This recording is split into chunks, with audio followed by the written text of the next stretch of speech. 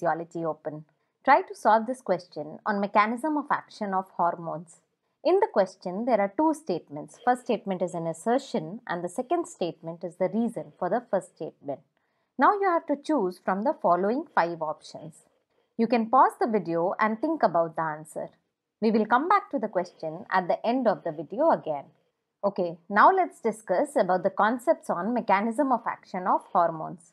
Action of hormones is dependent on downstream signaling pathways which it activates once it binds to its receptors.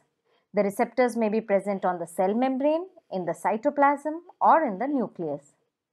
There are three broad categories of cell membrane hormone receptors. Ion channel linked receptors, G protein linked receptors and enzyme linked receptors. One thing you should note here is that the hormone receptor is not just a structural protein. Rather, it is linked to other proteins which are either ion channels, G proteins or enzymes. Once the hormone binds to its receptors, there is change in the function of the proteins which are linked to the receptor. Now, once this happens, it leads to either opening or closing of ion channels affecting the movement of ions across the cell membrane and uh, phosphorylation of some other proteins which may be associated with the receptor or they may be other intracellular proteins. Now, one fundamental thing you should know is that adding of phosphate that is phosphorylation and removal of phosphate that is dephosphorylation of proteins is one mechanism which leads to activation and inactivation of many proteins inside the cell.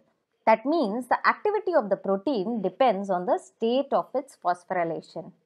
The phosphorylation is brought about by kinases while the phosphatases dephosphorylate the protein.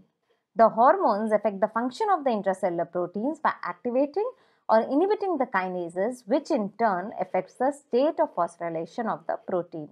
Now, generally it is a combination of these events which happen intracellularly when the hormone binds to its receptors.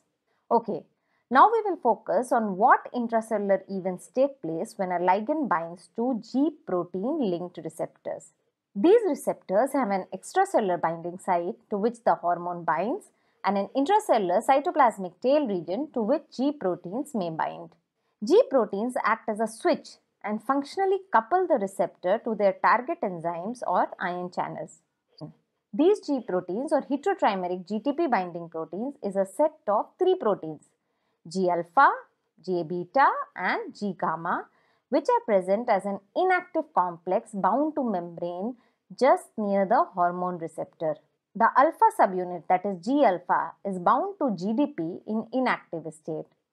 When the hormone binds to its receptor, receptor interacts with the G proteins and the GDP bound to alpha subunit is replaced by GTP which is now said to be in active state.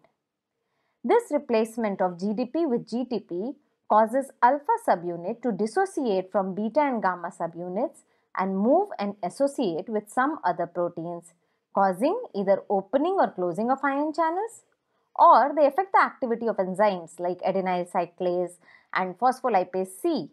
G proteins which stimulate adenyl cyclase activity are known as G stimulatory proteins that is G alpha S while that which inhibits their activity are known as inhibitory G proteins that is G alpha I. The G proteins which affect the activity of phospholipase C are known as GQ proteins.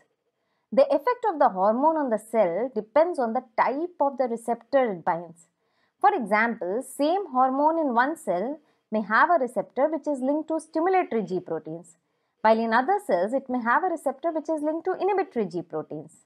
Now, by the change in the state of these G proteins, second messenger systems or we can say signaling pathways are activated.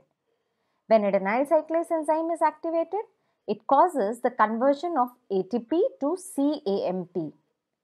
CAMP in turn causes the activation of CAMP dependent protein kinase A which causes phosphorylation of some proteins or enzymes in the cell. Now these proteins may be involved in biological reactions or this phosphorylated protein in turn may activate or inhibit other proteins which are involved in cellular reactions. So ultimately this process affects the function of the cells.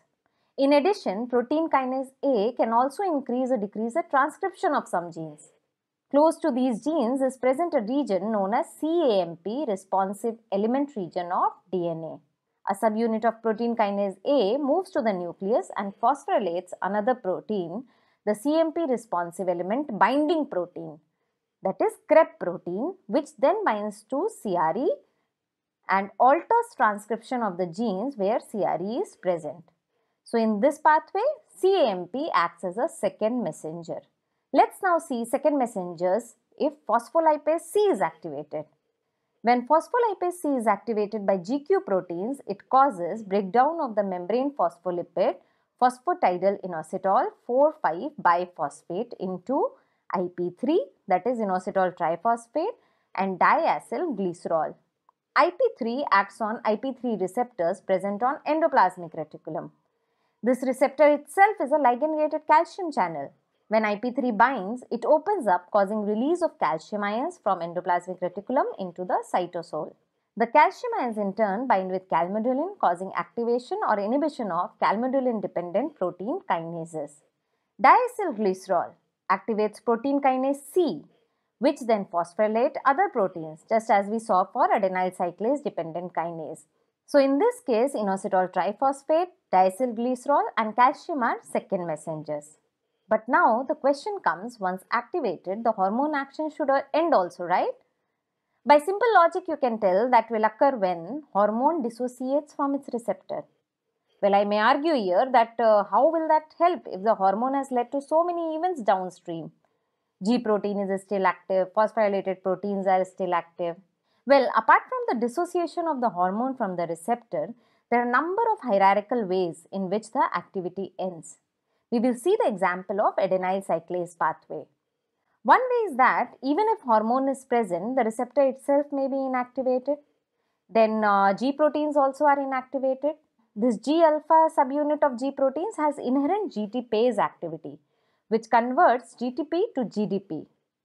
When the activated G protein binds to adenyl cyclase, the GTPase activity is activated, causing conversion of GTP to GDP and you know that once G alpha binds to GDP, it binds to beta and gamma subunits and becomes inactive again. So only for a very brief period, G proteins remain in activated state. This also inactivates adenyl cyclase. Then uh, CAMP is converted to 5-AMP by the enzyme phosphodiesterase. Again, one may argue that uh, protein kinase A and other proteins which have been activated by it are still in phosphorylated state. Well, the cells are phosphatases which dephosphorylate these proteins. Okay, now let's come back to our original question. In this question, assertion is a true statement. We have seen that CAMP pathway activates protein kinase A which affects intracellular proteins as well as moves to nucleus to affect genetic expression. Reason is also a correct statement because PKA activates CREB protein which then binds to CRE region and affects genetic expression and that is how the adenyl cyclase pathway affects gene expression. So the answer in this case is first option. Both A and R are true and R is the correct explanation for A. Okay, thanks for watching the video. If you liked it, do not forget to subscribe to the channel Physiology Open. Thank you.